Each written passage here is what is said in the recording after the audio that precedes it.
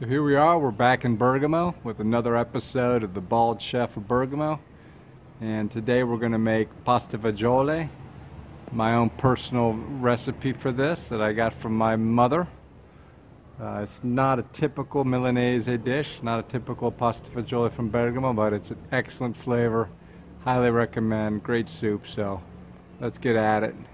Just a nice view of Bergamo, Città Alta. Beautiful day like today. A little bit, uh, you know, let's say 55, 60 degrees right now, so it's not a, it's not a, not a cold day, but it's, so it's still a good day, perfect day for pasta fagioli. So what we'll start with is taking some uh, carne trita macinata, um, you know, ground beef, and we will start to, to, to, cook that down. Take that out, leave the, the fat that comes off of, the, of that to uh, serve as the, uh, the medium when we, when we uh, saute the vegetables. Um, obviously, get yourself a nice big uh, soup pot, saucepan, Dutch oven. This obviously is the greatest thing in the world. Get yourself one of these nice ones, Le Creuset, and once you do that, you'll never go back. So I've cooked down the meat. I'll take it out of the pan as I stated, and then I'll add about three um, large uh, celery stalks, uh, three, three to four carrots, and a large white onion diced.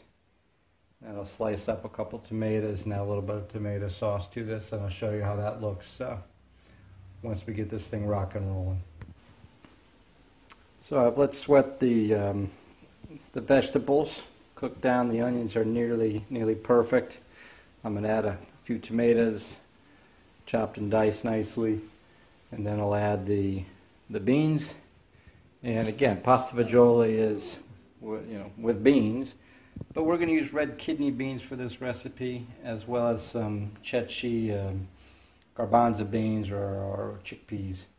And my wife likes those, and they kind of go together, kind of mix and match the beans. So we'll get the tomatoes in, then we'll add the beans, and um, then we'll add the broth and sauce. You'll see what it looks like. So I've got the, the beans, the garbanzo beans or chickpeas in there, with the tomatoes, the vegetables that have sweat down. The colors are beautiful, vibrant colors. And now I'm going to add the beef. Let that come in there. And I'll stir that around. And then we'll add the, uh, the, the broth as well as the sauce. And you'll see that here. I'm just in a couple minutes. Let this cook for a little bit before we, we add the broth. Just mix everything. Get a nice visual on this.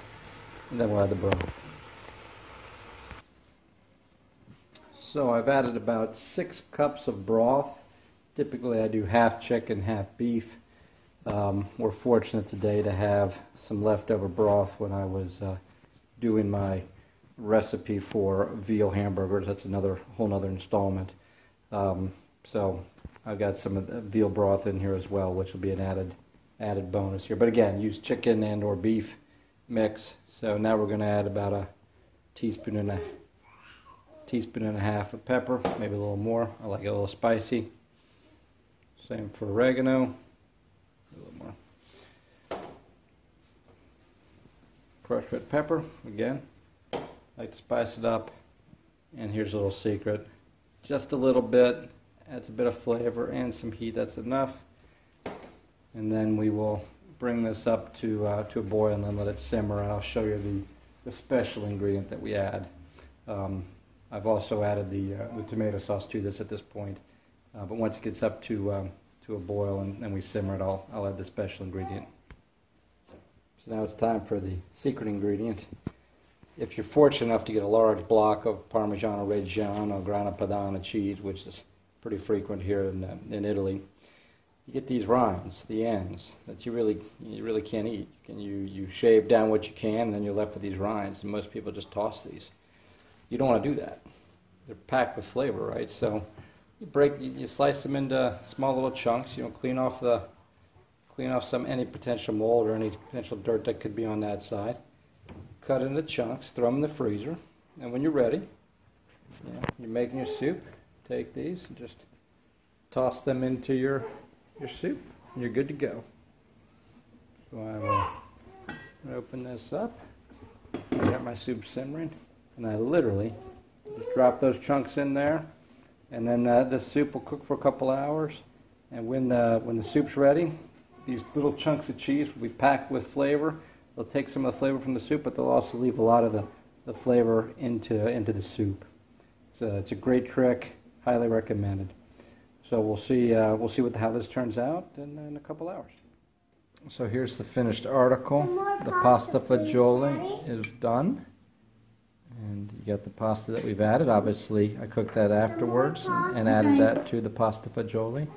And here is that, that block of uh, Parmesan Reggiano cheese. As you can see, it's nice and soft. The flavor's there, and it's, you know, perfect. Be perfect flavor there. Can I have some more? Buon appetito. Yes, Celeste, I'll give you some more pasta. What do you say? Is the pasta fagioli good?